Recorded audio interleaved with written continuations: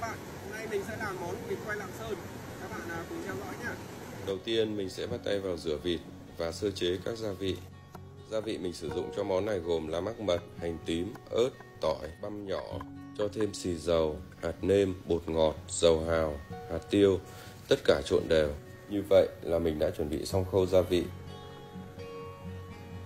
Giờ mình sẽ nhồi tất cả các gia vị vừa chuẩn bị vào trong con vịt để khoảng một tiếng cho gia vị ngấm rồi cho lên nướng. Thường để quay món này là dùng lò nướng công nghệ hoặc motor để quay. Nhưng hôm nay mình sẽ quay món này bằng buồng nước. Cách này khá đơn giản, nhưng điều quan trọng là phải có suối các bạn nhé. Quay kiểu này khá là thú vị và hiệu quả không hề kém các bạn ạ. Quay khoảng 40 phút, mình quét thêm một lớp mật ong để cho da vịt được vàng đều và thơm hơn. Nướng thêm khoảng 5-10 phút, vậy là xong. Giờ mình sẽ cho ra và thưởng thức nào.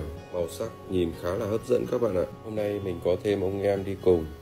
Mời các bạn thưởng thức cùng anh em mình nhé. Vịt vừa chín tới, bên ngoài da giòn, bên trong mềm. Món này chấm với xì dầu tỏi ớt, thực sự là ngon hết nước chấm luôn. Các bạn hãy làm và cảm nhận nhé.